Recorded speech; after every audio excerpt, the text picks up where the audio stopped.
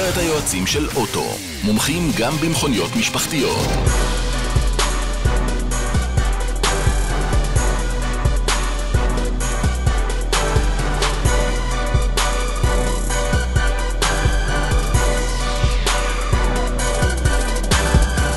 אוטו תכלס, והפעם סקודה רפיד.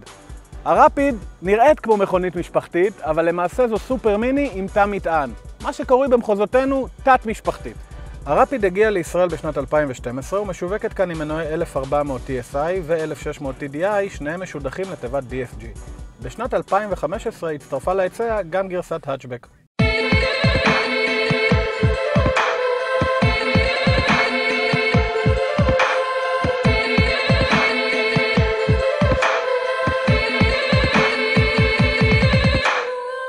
על הכביש מרגישה הרפיד הזו כמו מכונית משפחתית כמעט.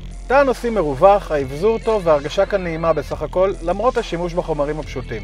בתחילת דרכה שווקה כאן הרפיד עם תא נוסעים נעים פחות, ללא העיטורים שהתווספו במהלך 2014, ובלי שליטה על חלונות החשמל האחוריים מעמדת הנהג. סקודה סקודה, אנחנו יודעים שאמורים להגיד שקודה, אבל יש לי קצת בעיה עם הסיסר, וגם אם נגיד שקודה אף אחד לא יבין על מה אנחנו מדברים, אז נקרא לה סקודה ברשותכם, בסדר?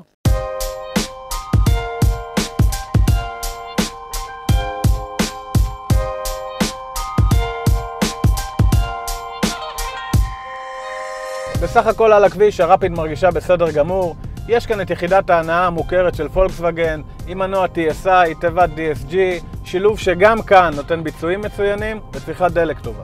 התלונה העיקרית כנגד הרפיד קשורה בעידון. היא לא נעימה על כביש משובש, ולא אהבנו את רעשי הכביש והמתלים החודרים אל תא הנוסעים.